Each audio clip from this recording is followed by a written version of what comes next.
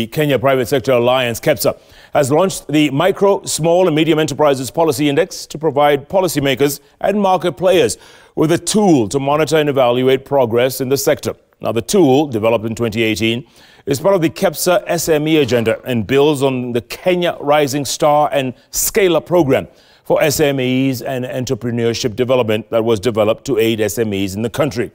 Speaking during the launch, KEPSA CEO Carol Kariuki says the tool had been used for the first time in Kenya and Africa as a whole to assess, gauge, and rank the MSME policy environment and determine how the MSME policies influence economic growth and development.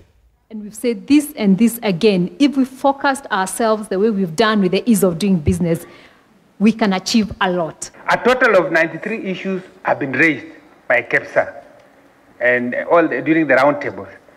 And according to this presentation, 91 of them have been resolved.